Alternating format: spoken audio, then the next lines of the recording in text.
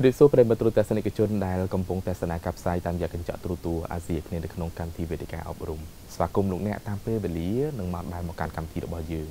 វេទិកាអប់រំតែតែផ្ដល់ជូនលោកអ្នកនៅចំណេះដឹងយ៉ាងទូលំទូលាយពាក់ព័ន្ធទៅនឹងប្រធានបទប្រចាំសប្តាហ៍ដោយឡែកនៅក្នុងសប្តាហ៍នេះខ្ញុំបាទបានលើកយកប្រធានបទថ្មីមួយទៀត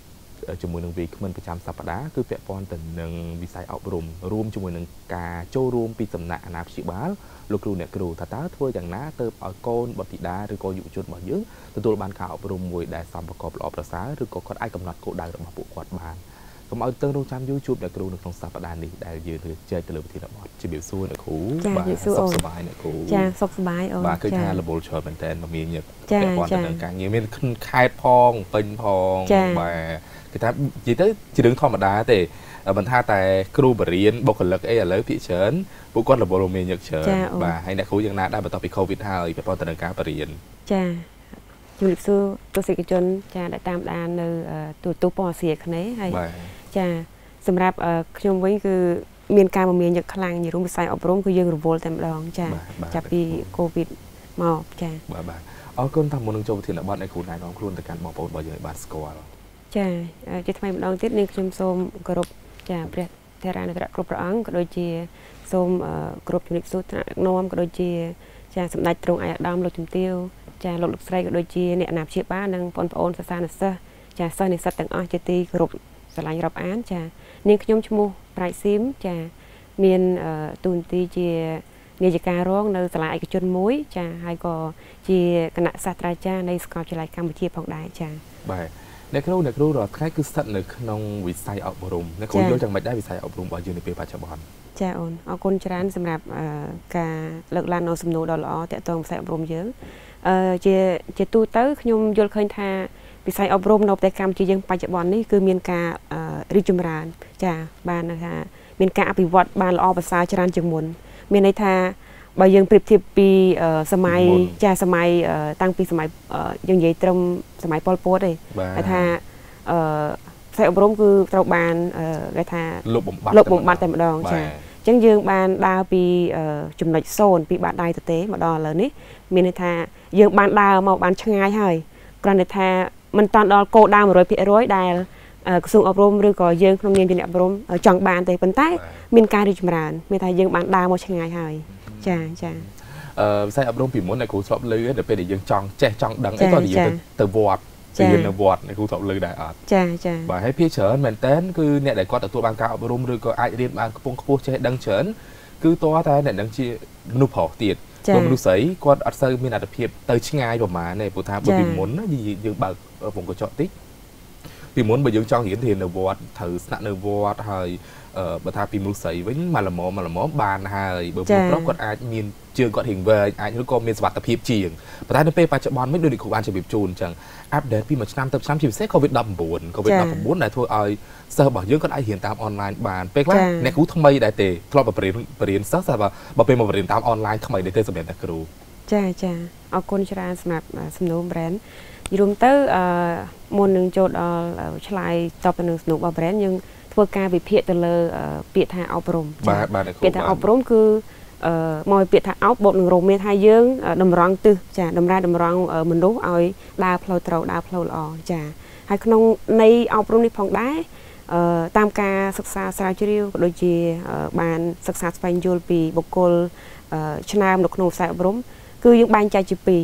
ទី1គឺការអប់រំអឺស្ដៅទៅលើការទូមានព្រៀនបដៅទៅលើ អប់រំទៅលើផ្លូវចិត្តទៅលើអរិយាប័ត្រធ្វើយ៉ាងណាឲ្យមនុស្សមានសិលធម៌ល្អអរិយាប័ត្រល្អចានៃទី2គឺយើងសំដៅទៅលើការសិក្សាចំណូលចំណេះវិជ្ជា លើមុខវិជ្ជាផ្សេងផ្សេងនៅតាមសាលារៀនមានថាយើងបង្រៀនគាត់ទៅតាមមុខវិជ្ជាទៅតាមកម្រិតថ្នាក់ចាចាអញ្ចឹងសរុបមកវិញការអប់រំគឺយើងបង្រៀនចាឲ្យសិស្សានុសិស្ស ចេះទាំងចំណេះដឹង មានទាំងអរិយាប័ត្រល្អចាមានសិលធម៌ល្អចាអញ្ចឹងអឺត្រឡប់មកចាសំណួររបស់ brand ចាដែលយើងមើលថាការអប់រំនៅក្នុងសម័យពីមុនបរោះបរោះមានឱកាសច្រើនទៅរៀននៅនៅតាមវត្តអារាមចាចាស្ត្រីគឺនៅនៅផ្ទះនៅផ្ទះច្រើន ចាមានន័យថាការអប់រំគឺយើងមិនមែនសំដៅតែនៅតាមសាលាទេត្រឹមត្រូវចាអាចរៀនបាននៅគ្រប់ទីកន្លែងសូម្បីតែនៅផ្ទះក៏អាចរៀនបាន ចាការអប់រំពីសំណាក់អាណាព្យាបាលចានៅតាមទីវត្តអារាម គឺមានព្រះសង្ឃមានលោកអាចារ្យចូលរួមក្នុងការបណ្ដុះបណ្ដាលហើយមកដល់សម័យបច្ចុប្បន្ននេះគឺយើងមានសាលាចាមានសាលាច្រើនតាំងគ្រប់កម្រិតតាំងពីមត្តេយ្យរហូតដល់វិទ្យាល័យសាកលវិទ្យាល័យរហូតដល់យើងមាននៅការអប់រំបែបទំនើប បែបបច្ចេកវិទ្យាចាទោះបីជាមានបញ្ហា COVID-19 ដែលសិស្សអាចជួបជុំអាចជួបជុំបាន គឺយើងប្រើប្រាស់តាមបច្ចេកវិទ្យាប្រព័ន្ធវីដេអូ Zoom Conference ដូច្នេះការអប់រំគឺអាចកើតឡើងនៅគ្រប់ទីកន្លែងទាំងអស់ចាឲ្យតែយើងបានត្រៀមខ្លួនបានយ៉ាងល្អចាចាអ្នកគ្រូអឺការប៉ັດទៅអ្នកខ្លះគេនិយាយថាអឺអត់ដែរចូលសាលាទេនិយាយស្ដីចេញមកការប៉ັດដូចអ្នកគ្រូបានជម្រាបជូនអញ្ចឹងពេលខ្លះអ្នកដែលចូលសាលាខ្លះ គាត់អត់មានសិលធម៌ផងគាត់ថាបានបាទអ្នកដែលគាត់អត់ទទួលបានការបដិបដារៀនបានចេះដឹងថ្នាក់ខ្ពស់ឧត្តមដូចគេពេលត្រឹមថ្នាក់បឋមទី2ទី3ប៉ុន្តែការនិយាយស្ដីការចូលរួមជាមួយសង្គមរបស់គាត់ក៏គេហៅថាយេចូលចូលមួយគេចុះអ្នកគ្រូយល់យ៉ាងម៉េចដែរចំណុចហ្នឹងចាចាអរគុណច្រើន brand សំណួរល្អមែនទែនចាដូចខ្ញុំបានជម្រាបជូនថាការអប់រំគឺទីមួយសំដៅទៅលើការសិក្សានៅសាលាបង្រៀននៅមុខវិជ្ជា ផ្សេងផ្សេងទៅកាន់សិស្សានុសិស្សមួយទៀតគឺការអប់រំសិលធម៌អេយ៉ាបតចាអាចថាចេញពីពុកម្ដាយចេញពីគ្រួសារឬក៏ខ្លួនឯងមានការភ្ញាក់រលឹកមានការសិក្សាស្វែងយល់ខ្លួនឯងដូច្នេះឯងដូច្នេះហើយទោះបីជាគាត់មិនបានរៀនដល់កម្រិតថ្នាក់ខ្ពង់ខ្ពស់ប៉ុន្តែគាត់មានការអប់រំអេយ៉ាបតអប់រំផ្លូវចិត្តរបស់គាត់ចាមានការកិរិយាល្អអតចរិតល្អអញ្ចឹងការនិយាយស្ដីរបស់គាត់គឺសំរុំឲ្យអាចចុះចំណោមនៅក្នុងសង្គមបានប៉ុន្តែផ្ទុយទៅវិញ នៅពេលដែលបុគ្គលម្នាក់ឬក៏បុគ្គលដែលរៀនបានខ្ពង់ខ្ពស់ប៉ុន្តែគាត់មិនមានការអប់រំនៅអត្តចរិតផ្លូវចិត្តរបស់គាត់ឬក៏សិលធម៌អិយាប័តហ្នឹងធ្វើឲ្យគាត់ទៅជាអំនួតឬក៏អាចថាចាប្រាស់ប្រាស់នៅពាក្យសម្ដីមិនសមរម្យមើងងាយទៅដល់អ្នកដែលមិនបានរៀនសូត្រទៅដល់កម្រិតដូចគាត់ចាឬក៏ប្រើប្រាស់ចំណេះដឹងចំណេះវិជ្ជារបស់គាត់ហ្នឹងទៅធ្វើរឿងដែលអឺគេថាអសិលធម៌ឬក៏ខុសច្បាប់សង្គមដើម្បីតែផលប្រយោជន៍ខ្លួនឯងភាពលោភលន់របស់ខ្លួនឯងចា ដូច្នេះហើយយើងអឺទាំងអស់គ្នាចាគូតែយល់នៅពីអប់រំឲ្យបានច្បាស់ថាអប់រំទាំងចំណេះដឹងចាផ្នែកសាលាពីសាលាឬក៏ degree ហ្នឹងហើយនឹងការអប់រំផ្លូវចិត្តខ្លួនឯងចាអត្តចរិតខ្លួនឯងផងដែរចាបាទចុះសម្រាប់អាណាព្យាបាលវិញអ្នកគ្រូអ្នកគ្រូយល់យ៉ាងម៉េចដែរសម្រាប់រៀងអាណាព្យាបាលជាមួយនឹងខ្សែអប់រំនៅពេលបច្ចុប្បន្នហើយនិងពីមុនយើងប្រៀបធៀបគ្នាអ្នកគ្រូចាចាបើយើងកលេចទៅមើលស្ថានភាពរបស់អ្នកអាណាព្យាបាលវិញ ចាពីមុនពុកម្ដាយចាគាត់មិនសូវមានការចាប់អារម្មណ៍ឬក៏យកចិត្តទុកដាក់ក្នុងការបញ្ជូនកូនមកសាលាច្រើនដូចសម័យបច្ចុប្បន្ននេះទេចាឬក៏គាត់ជំរុញលើកទឹកចិត្តតែកូនប្រុសកូនស្រីអត់សូវទេអញ្ចឹងណាចាប៉ុន្តែមកដល់សម័យបច្ចុប្បន្ននេះគឺណាមជាបាលយើងគឺមានការផ្លាស់ប្ដូរកែប្រែនៅផ្នែកកំណត់ច្រើនគាត់បានបញ្ជូនកូនមកសាលាយរុំតាំងពីអាយុចេះពីតូចអាយុ2ឆ្នាំ3ឆ្នាំគឺបញ្ជូនមកសាលាអស់ហើយ ចាអញ្ចឹងគាត់មានការចូលរួមច្រើនចាគ្រាន់តែថា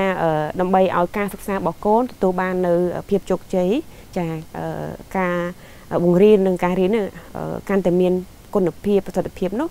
យើងត្រូវការការចូលរួមពីណាព្យាបាលចាចាបើយើងកលេចមើលទៅលើស្ថានភាពឬក៏ប្រភេទនៃណាព្យាបាលនោះគឺយើងអាច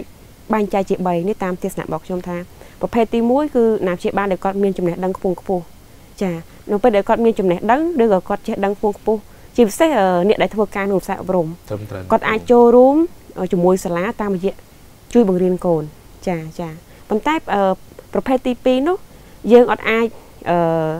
គេហៅថាបន្តោសឬក៏អឺមានការ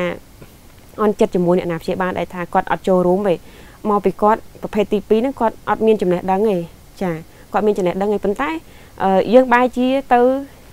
សូមគាត់ឲ្យជួយបង្រៀនកូននៅផ្ទះបន្ថែមធ្វើបែបនេះលោកគ្រូលោកគ្រូឬក៏យើងក្នុងនីតិអប់រំគឺយើងយល់ខុសហើយសូម្បីតែយើងជាគ្រូបរិញ្ញាពេលខ្លះយើងអត់ចេះវិធីសាស្ត្របង្រៀនអស់ផងឬក៏បង្រៀនសិស្សយើងការបរិញ្ញាអត់ត្រូវផងចាចាចុះតម្រាំណាព្យាបាលដែលគាត់មិនមានចំណេះដឹងឬក៏គាត់មិនមានមិនបានគ្រូកសលចាប៉ុន្តែចំណុចនេះគឺលោកគ្រូអ្នកគ្រូអាចអឺឲ្យណាព្យាបាលជំរុញលើកទឹកចិត្តដាស់តឿនកូនឲ្យខិតខំរៀនឬក៏ធ្វើកិច្ចការ អឺផ្សេងផ្សេងដែលលោកគ្រូគ្រូដាក់ឲ្យចាប្រភេទទី3ខ្ញុំយល់ឃើញថាអាណាព្យាបាលដែលគាត់មានការមមាញឹកក្នុងការងារបលឹមចេញបលុបចូលមានន័យថាគាត់ពឹងផ្អែកមកលើសាលាសឹងតែ100%ហើយអញ្ចឹងយើងត្រូវយល់ពីស្ថានភាពគាត់ថាណាព្យាបាលប្រភេទហ្នឹងគាត់អាចចូលរួមច្រើនជួយកូនគាត់បានទេអញ្ចឹងមានតែយើងជួយគាត់វិញចា ចាយើងមកឃើញបែបនេះចាហ្នឹងហើយចំណុចទី3ពិសេសមែនតើឪពុកម្ដាយខ្លះមានអារម្មណ៍ថាទូនីតិរបស់ឪពុកធម្មតារលុយទៅចាចាទូនីតិរបស់ម្ដាយដឹងតែចក្រានជើងឆ្នាំងឲ្យលុយដែរទាំងទូនីតិរបស់កូនដឹងតែរៀនអញ្ចឹងទូនៅពេលដែលគាត់ធ្វើតាមទូនីតិរៀងរៀងខ្លួនយូរទៅកំលៀតឆ្ងាយទៅឆ្ងាយទៅរហូតដល់ពេលខ្លះកូនគ្នាខ្វះភាពកក់ក្ដៅដែរគាត់ថាបានចំណុចខ្លះ អញថាជាមួយឪពុកម្ដាយគាត់អត់សូវនិយាយទេជាមួយគ្រូគាត់មានភាពកក់ក្ដៅជាងដោយសារតែអ្នកគ្រូលងលោមអ្នកគ្រូអីចំណុចនេះតើតសិតវាសិតនៅក្នុងក្មេងដែលគាត់ក្មេងនៅថ្នាក់ទី1ទី2ឬក៏ថ្នាក់មន្ត្រីគាត់ច្រើនទទួលបានអារម្មណ៍បែបហ្នឹងហើយចា៎បាទពិសេសមែនតើអញ្ចឹងដូចជាការជម្រាបជូនរបស់អ្នកគ្រូអញ្ចឹងអាណាព្យាបាលគឺសំខាន់មែនតើនៅក្នុងការចូលរួមជាមួយនឹងសិស្សពេលខ្លះបើទោះបីជាគាត់មិនចេះដឹងខ្លាំងអាណាព្យាបាលខ្លះគាត់អត់អត់អត់បានរៀនខ្ពស់ទេប៉ុន្តែគាត់គាត់ គាត់ឆ្លាតឬក៏គាត់មានវិធីសាស្ត្ររបស់គាត់គឺគាត់នៅជាមួយកូនគាត់ចា៎គាត់បរៀនអាចទៅតាមអ្វីដែលគាត់អាចធ្វើទៅបានជាមួយនឹងទៀតគាត់ធ្វើយ៉ាងណាឲ្យកូននឹងមានអារម្មណ៍ថាគាត់បានកណិតជាមួយនឹងគ្រូចាពេលអញ្ចឹងគាត់ខ្លាចគាត់អត់សូវហ៊ានកិច្ចការងារសាលាប្រហែលទេពេលដឹងថាម៉ាក់ប៉ាខ្ញុំកណិតមួយអ្នកគ្រូអញ្ចឹងបើខ្ញុំទៅសាលារៀងលេងសើចច្រើនឬក៏អត់សូវរៀនសូត្រប្រកាសជាម៉ាក់ប៉ាខ្ញុំដឹងហើយអញ្ចឹងអាការចំណិតកណិតជាមួយគ្រូសំខាន់ដែរពេលអ្នកគ្រូ ចាអូនអឺចំណុចនេះពិតជាសំខាន់ខ្លាំងមែនទែនចាក្នុងការចូលរួមក្នុងការសិក្សារបស់កូនគឺលោកគ្រូអ្នកគ្រូនិងអ្នកព្យាបាលគឺដើរតួសំខាន់ណាស់ត្រូវតែភ្ជាប់ទំនាក់ទំនងចា connect គ្នាត្រូវតែមានទំនាក់ទំនងល្អផ្ដល់ព័ត៌មានត្រឡប់ជូនគ្នាទៅវិញទៅមកទីហោលោកគ្រូអ្នកគ្រូផ្ដល់ព័ត៌មានទាក់ទងនឹងការសិក្សារបស់កូនការរីកចម្រើនរបស់កូនហើយពេលខ្លះមិនមែនអឺគ្រាន់តែលទ្ធផលល្អរបស់កូនឬក៏ជំនាញរបស់កូនប្រាប់ទៅអ្នកព្យាបាលពេលខ្លះនៅពេលដែលកូនមានបញ្ហា កូនជួបទុកលំបាកឬក៏កូនអឺរៀនមិនចេះទៅត្រង់ចំណុចណាមួយលោកគ្រូអ្នកគ្រូក៏ត្រូវតែឲ្យណាព្យាបាលដឹងដែរពីពីទុកកង្វល់របស់យើងឬក៏ពីបញ្ហារបស់កូនដើម្បីឲ្យណាព្យាបាលដឹងចាហើយណាព្យាបាលវិញក៏ដូចគ្នាអឺសូមលើកទឹកចិត្តណាព្យាបាលថាអឺយើងផ្ចត់តំណងមួយគ្រូហើយអ្វីដែលយើងចង់បានដែលប៉ាម៉ាក់ចង់បានគឺយើងប្រាប់ទៅកាន់គ្រូឬក៏សាលាផ្ទាល់ចាថាកូនខ្ញុំអឺគាត់ ត្រូវការបែបនេះឬក៏គាត់ខ្វះចំណុចនេះចាចឹងហើយយើងជួយបំពេញគ្នាទៅវិញទៅមកក្នុងន័យមួយគឺយើងជួយកូនរបស់យើងចាចាអ្នកគ្រូបើវងកញ្ចក់មួយទៀតអ្នកគ្រូធ្លាប់ឃើញក្មេងដែលគាត់ចូលរៀនដំបូងគាត់ចង់ទៅរៀនគាត់យំប្រកាច់ប្រកិនមែនតែគាត់ចង់ចូលសាលាទេចាចាសម្រាប់អ្នកគ្រូផ្ទាល់ក្នុងនាមយើងជាគ្រូហើយក៏ក្នុងនាមយើងជាមេដាបេដាម្នាក់ដែរនិយាយខ្លីទៅថាតើគួរត្រូវធ្វើយ៉ាងម៉េចវិញចំណុចត្រង់នេះអ្នកគ្រូចង់ចង់ចែករំលែកទៅការណាព្យាបាលចាអឺ ឆ្លងកាត់ការអប់រំក៏ដូចជាការធ្វើការក្នុងសាលាក្នុងវិស័យអប់រំ10ឆ្នាំជាងនេះគឺជួបច្រើននៅដូចបាននិយាយមិនចឹងករណីកុមារឬក្មេងដែលមានដែលបញ្ជូនមកសាលាហើយគាត់យំដូចអូនថាចឹងប្រកាច់ប្រកិនចាតែពិបាកខ្លាំងតែបរិញ្ញាការនៅក្មេងចឹងដែរដូចជាអត់អីទេតែអ្នកម្ដាយជាគ្រូបរិញ្ញាអញ្ចឹងទៅរៀនជាមួយអ្នកម្ដាយចាចាជួបជាហោហែដែរត្រង់ចំណុចនេះគឺនៅពេលដែលកុមារគាត់ចូលដល់អាយុ3ឆ្នាំ ចូលថ្នាក់មត្តេយ្យអញ្ចឹងដំបូងឡើយក្នុងនាមជាពុកម្ដាយណាព្យាបាលគូតែត្រៀមខ្លួនបានយ៉ាងល្អត្រៀមលក្ខណៈថាដល់វ័យដែលកូនត្រូវចូលសាលាហើយអញ្ចឹងគឺយើងចាប់ផ្ដើមបញ្ជ្រាបកូនតិចតិចទៅលើការចាប់ផ្ដើមកាន់ខ្មៅដៃឬក៏កាន់ color ចាទិញជាសភៅតុក្កតាឬក៏សភៅដសេអញ្ចឹងឲ្យគាត់សមជាមួយនឹងចាការសិក្សាហ្នឹង ដល់ពេលដែលគាត់បញ្ជូនកូនមកសាលាគឺមិននឹងមិនជួបបញ្ហានឹងច្រើនទេចាប៉ុន្តែបើសិនជាមានករណីក្មេងគាត់មកសាលាគាត់គាត់មានអារម្មណ៍ថាខ្លាចអឺគាត់យល់ថាកន្លែងថ្មី ចាគាត់អត់ស្គាល់មនុស្សជំនាញខ្លួនគាត់នឹងយំរហូតដល់ថាប្រកាច់ប្រកិនចាប់អត់ចង់ឈ្នះក៏មានដែរចារហូតដល់អឺវ័យគ្រូធាក់គ្រូក៏មានដែរខ្ញុំជួបផ្ទាល់ហើយចាជួនកាលខ្ញុំទៅលូងអញ្ចឹងទៅទៅលើកទៅផ្ទះខ្ញុំម្ដាយឬក៏ធាក់ខ្ញុំមួយជើងក៏មានដែរប៉ុន្តែក្នុងនាមជាអ្នកអប់រំគឺយើងផ្ដល់ក្តីស្រឡាញ់ឲ្យគាត់ចាហើយយើងសុំការចូលរួមពីអ្នកចេះបានករណីជួបកូនបែបនេះគឺយើងយល់ទៅកូនដៅយើងយើងយើងដៅហើយថាយើងដាក់កូនយើងមករៀនឲ្យសាលាជួយអញ្ចឹងបើសិនជាកូនយំកូនអឺអឺចាអត់ចង់មករៀនគឺយើងត្រូវតែចូលរួមក្នុងការសហការមួយសាលាចាលួងលោមគាត់ចា និយាយពាក្យសម្ដីផ្អែមផ្អែមចំពោះគាត់ចាអឺពេលខ្លះក្មេងគាត់យំតែមួយថ្ងៃក៏មានយំតែពីរថ្ងៃក៏មានឬក៏មួយអាទិត្យក៏មានក្រោយមកគាត់នឹងសប្បាយរីករាយគាត់បានជាមួយមិត្តភ័ក្តិចាបានមិត្តភ័ក្តិហើយក៏គាត់បានទទួលក្តីស្រឡាញ់ពីគ្រូពីសាលាគាត់នឹងឡើងយំហើយអញ្ចឹងគោលដៅរបស់យើងតម្រង់ឲ្យគាត់មកសាលាដូច្នេះហើយជួបបញ្ហាបែបនេះសូមអ្នកណាព្យាបាលកុំរាថយកុំដកកូនទៅវិញកាលណាដកកូនទៅវិញប្រៀបដូចយើងថា យើងដៅគោដៅទៅមុខហើយបែរជាតាដើរថយក្រោយវិញចាដូច្នេះខ្ញុំលើកទឹកចិត្តណាព្យាបាលថាអឺសហការជាមួយគ្រូមួយសាលាបញ្ជូនកូនមករៀនគឺជារឿងមួយដែលត្រឹមត្រូវបំផុតចាចាខ្ញុំនឹកឃើញចំណុចមួយទៀតដែរគ្រូ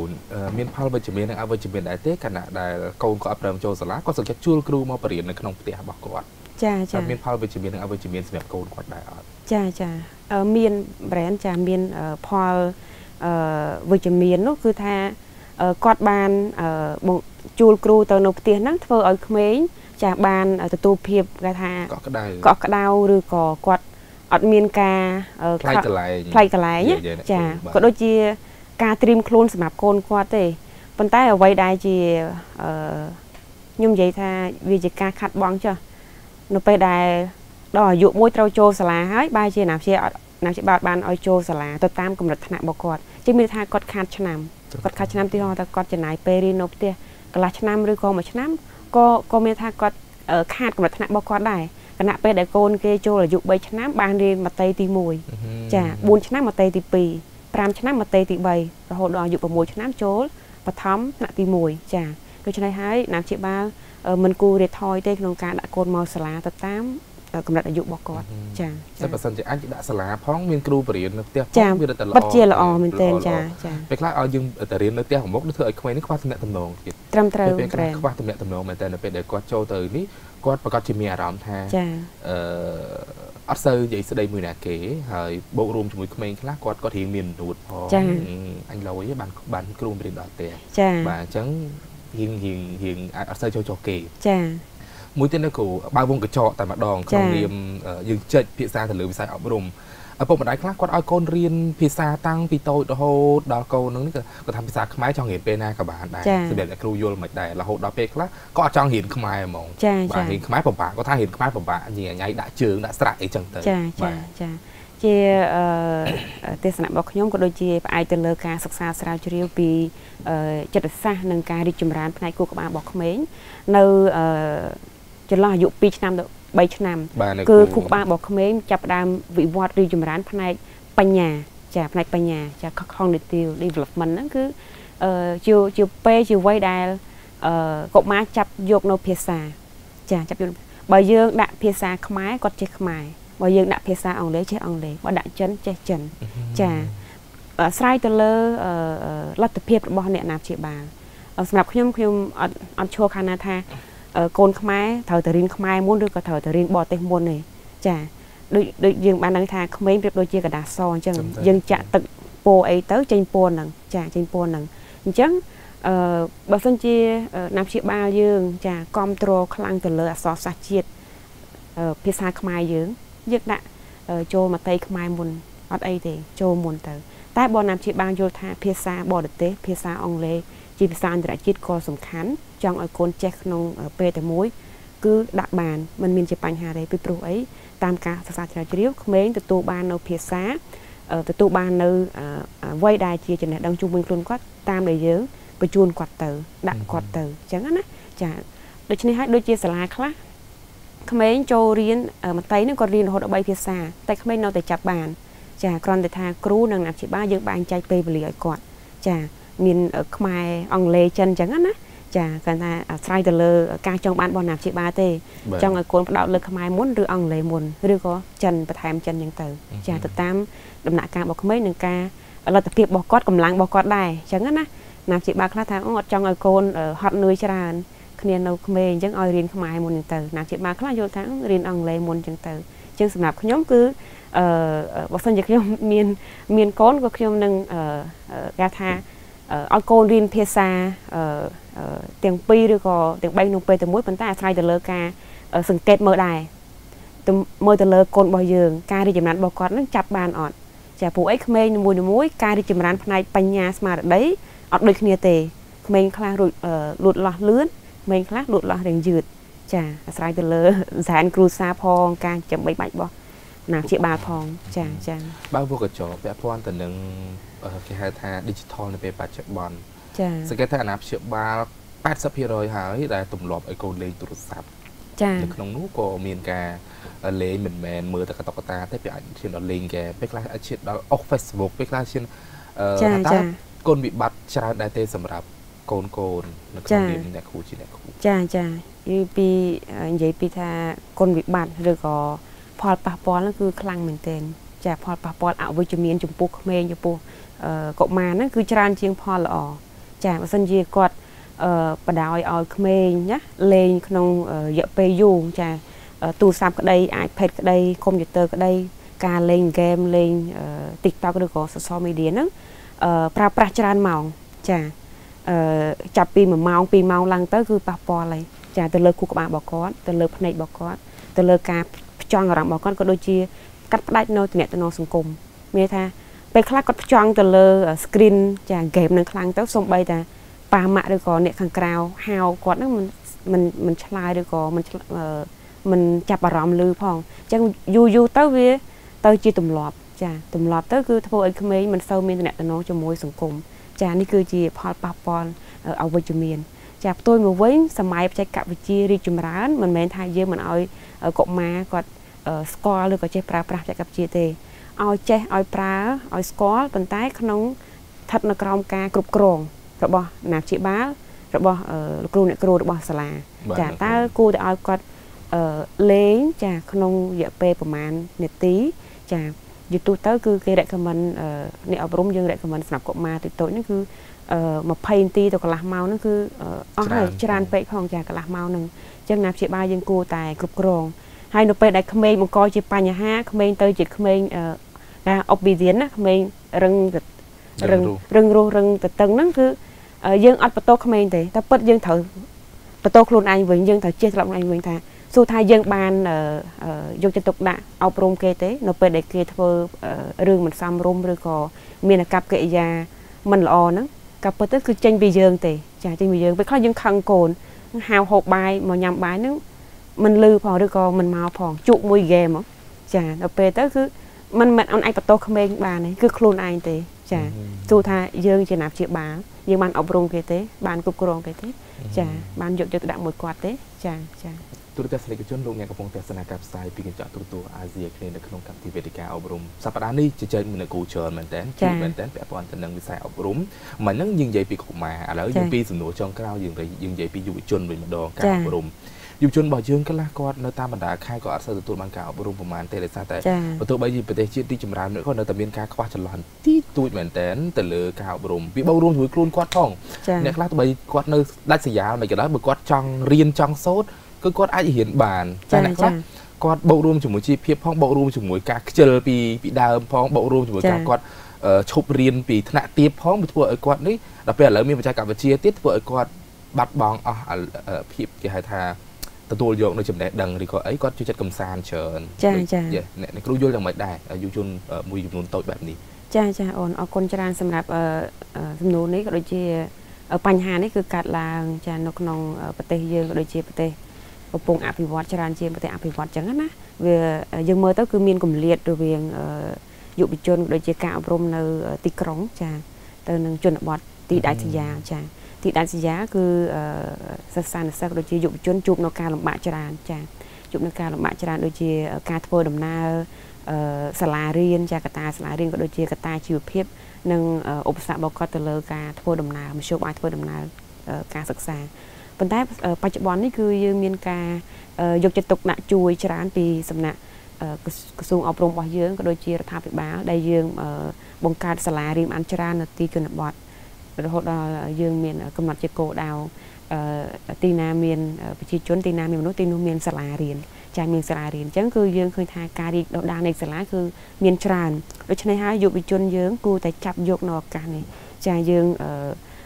ជួបឧបសគ្គចាយើងជួបបញ្ហាប៉ុន្តែយើងត្រូវដោះស្រាយមិនតែយើងត្រូវធ្វើមិនដើម្បីសម្រេចនៅគោលដៅជីវិតរបស់យើងយើងចង់បានជីវិតមួយដ៏ល្អប្រសើរយើងចង់ចង់យើងចង់ផ្លាស់ប្ដូរខ្លួនឯងយើងត្រូវតែជំនះឧបសគ្គថាបើយើង កើតកើតមកនៅក្នុងគេហៅថាទីដាច់សញ្ញាឬក៏តំបន់មិនសូវមានការរីកចម្រើនឬក៏តាមបណ្ដាខេត្តតែយើងគួរធ្វើម៉េចដើម្បីអាចស្គាល់សង្គមអាចប្រឡូកឬក៏ក៏អាចគូប្រជែងជាមួយនឹងយុវជននៅទីក្រុងបានណាចាអញ្ចឹងគឺយើងរិះរកនៅយុទ្ធសាស្ត្រវិធីសាស្ត្រចាទៅរៀនហើយយើងត្រូវចូលរួមក្នុងសកម្មភាពរបស់សាលារបស់គ្រូចាស្វែងរកនៅអាហារូបករណ៍ឬក៏ការគ្រប់គ្រងពី ក្រសួងពីរដ្ឋាភិបាលឬក៏ពីសំណាក់អាហារូបករណ៍ផ្សេងៗនៅសាលាសកលវិទ្យាល័យនៅភ្នំពេញយើងនេះឬក៏នៅក្រៅប្រទេសជាដើមចានិយាយរួមទៅឲ្យតែយើងចង់រៀនចង់ចេះចង់ធ្វើគឺនឹងមានអ្នកជួយយើងហើយសំខាន់យើងអត់ចង់ចានឹងអត់ចង់ដូចបងថាពេលខ្លះនៅយើងមានភាពខ្ជិលពីធម្មជាតិមកអញ្ចឹងតើយើងរៀនលះធម្មជាតិនៅណាខ្ជិលក៏មានចាមានទាំងអស់ចាមានគ្រប់គ្នាអញ្ចឹងគឺយើងតើយើងលះ ចាលះកំចាត់ចោលនៅភាពខ្ជិលរបស់យើង យើងចាប់យើងដើរចេញចាប់ទៅរកនៅឱកាសការងារឱកាសការសិក្សាគោលដៅជីវិតរបស់យើងចាមនុស្សជាច្រើនគេរងចាំជួយមនុស្សដែលដែលចង់ដែលថាចង់ជួយខ្លួនឯងចង់ចេះចង់អភិវឌ្ឍខ្លួនឯងគឺយើងចា វាទូទៅយើងសង្កេតឃើញបែបនេះបាទចាអរគុណអរគុណមែនតើដោយសារពេលវេលាក្នុងកម្មវិធីរបស់យើងជាជាចូលមកដល់ទីបញ្ចុះចុងក្រោយអ្នកគ្រូមានអីនិយាយទៅកាន់បងប្អូនរបស់យើងជាពិសេសអាណាព្យាបាលរួមជាមួយនឹងយុវជនរបស់យើងពេលបច្ចុប្បន្នចាចាអរគុណច្រើនក្នុងនាមខ្ញុំជាអ្នកអប់រំម្នាក់ខ្ញុំមានតែការអរគុណសម្រាប់អ្នកណាព្យាបាលចាក៏ដូចជាបងប្អូនសិស្សានុសិស្សក៏ដូចជា ពីសំណាក់គណៈគ្រប់គ្រងសាលាថ្នាក់ដឹកនាំសាលាដែលបានចូលរួមសហការគ្នាដើម្បីឲ្យការអប់រំវិស័យអប់រំរបស់យើងមានការរីកចម្រើនក៏ដូចជាមានគុណភាពមានសិទ្ធិភាពក្នុងន័យមួយគឺយើងជួយចូលរួមចំណែកជាមួយរដ្ឋាភិបាលរបស់យើងចាឲ្យមានការរីកចម្រើន មានសេដ្ឋកិច្ច ចារីកលូតលាស់ដោយបណ្ដាប្រទេសជឿនលឿនមួយចំនួនយើងដឹងហើយថាវិស័យអប់រំគឺជាវិស័យគេថាចម្បងសំខាន់សម្រាប់អភិវឌ្ឍធនធានមនុស្សយើងមានធនធានមនុស្សហើយគឺយើងត្រូវការការអប់រំមួយល្អដើម្បីអភិវឌ្ឍយើងទាំងអស់គ្នាឲ្យខ្លាយទៅជាគេថាធនធានបញ្ញវន្តចាធនធានបញ្ញវន្តដូច្នេះហើយខ្ញុំសូមគោរពថ្លែងអំណរគុណដល់អ្នកព្យាបាលទាំងអស់ដែលបានបញ្ជូនកូនមកសាលាហើយចូលរួមសហការជាមួយលោកគ្រូអ្នកគ្រូក៏ដូចជាសាលាផ្ទាល់ហើយ ខ្ញុំក៏សូមលើកលើកទឹកចិត្តបងប្អូនសិស្សនិស្សិតចាសិស្សនិស្សិតទាំងអស់ឲ្យខិតខំប្រឹងប្រែងសិក្សារៀនសូត្រណាមានគោលដៅចាដាក់គោលដៅជីវិតក៏ដូចជាថាយើងនឹងចង់ធ្វើអីទៅទៅថ្ងៃខាងមុខអញ្ចឹងយើងត្រូវដើរដល់គោលដៅនោះហើយពេលជួបបញ្ហាយើងត្រូវរកដំណោះស្រាយត្រូវរកជំនួយតើអ្នកណាដែលអាចជួយយើងបានចាដូច្នេះហើយខ្ញុំមានតែការអរគុណហើយសម្រាប់ខ្ញុំផ្ទាល់ ខ្ញុំក៏ទទួលបានការអប់រំល្អពីសាកលវិទ្យាល័យកម្ពុជាចាខ្ញុំក៏សូមគោរពអរគុណដឹងគុណដល់អាយដាមបណ្ឌិតកៅកំពួនចាដែលបានផ្ដល់ឱកាសឲ្យនាងខ្ញុំបានចូលសិក្សារៀនសូត្រទទួលបានអាហារូបករណ៍100%ជាងថ្នាក់ទាំងថ្នាក់បញ្ញាបត្រនិងថ្នាក់នំដិតចាអញ្ចឹងខ្ញុំគ្រប់ដឹងគុណហើយក៏សូមអរគុណដល់ស្ថានីយ៍ទូទូបស៊ីគ្នេនិងអរគុណដល់អូនជាពិធីខចាដែលបានផ្ដល់ឱកាសឲ្យខ្ញុំចូលរួមកម្មវិធីនេះជាងសូមគោរពជូនពរសម្ដេចទ្រង់អាយដាមក៏ដូចជា ប្រិយមិត្តទាំងអស់ជួបប្រទេសនៅពុទ្ធពរទាំង4ប្រការគឺអាយុវណ្ណៈសុខៈពលៈចាសូមអរគុណអរគុណអរគុណអរគុណអរគុណទូទស្សនិកជនជាទីមេត្រីប្រធានបទក្នុងសប្តាហ៍នេះពាក់ព័ន្ធទៅនឹងខ្សែអប់រំអាជីវជួបមកដល់ទីបញ្ចប់ជួបគ្នានៅសប្តាហ៍ក្រោយជាមួយប្រធានបទថ្មីចំណនេះវត្តមានជាខ្ញុំទាំងពីររួមទាំងក្រុមការងារសូមអរគុណសូមគោរពលា